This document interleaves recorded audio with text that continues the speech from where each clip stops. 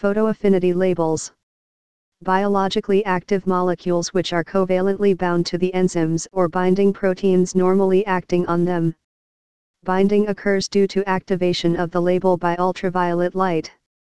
These labels are used primarily to identify binding sites on proteins.